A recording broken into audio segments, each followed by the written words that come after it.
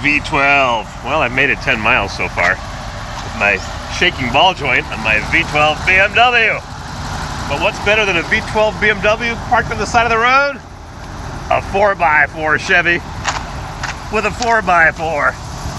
Yeah, lumber bumper. Does the job. Sounds real nice. Running real smooth. I'm Corvair Wild on YouTube. I make ridiculous videos. I love this truck. It's been around the block. It's been through the block, under the block.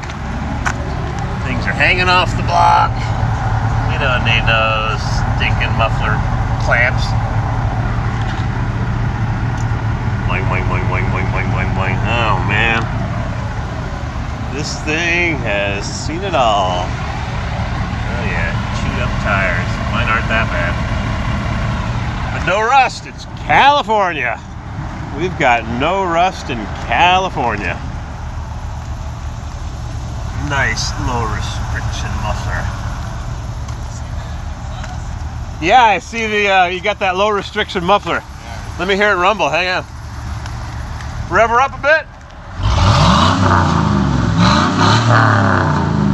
All right. My Suburban's never sounded that good. Love it. Good old work truck. How many miles on this work truck? 213. 213. I got a Mercedes with 437. But that's a Mercedes. 214. Runs good. Check that belt. Check that idler. Just pull the belt off. There's a tensioner. It's real easy and spin it. You'll see it right away. You'll hear it. Should be nice and glass smooth. They're cheap. Trying to get that patina look, I think. a little sanded. Yeah, sanded it a little bit. You check it out. 5.3, I guess. Got my own rig up, you know. Gotta keep running the road. That's right. I know all about it.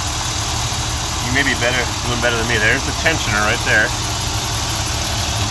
It's a, it's a, it's an idler with a spring on it. I think it's that one right there. It sounds like.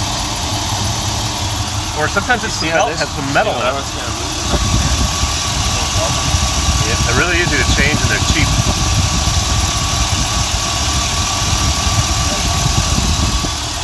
As long as you're not going too far like me.